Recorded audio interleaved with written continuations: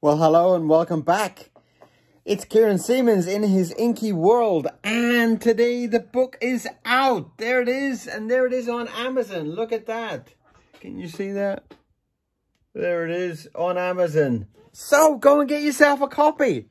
I put this together for all the people that follow me on YouTube, and I thought it would be a great way to kind of give something back for all the people that watch all the people that love the drawings, they can have them in a little sketchbook.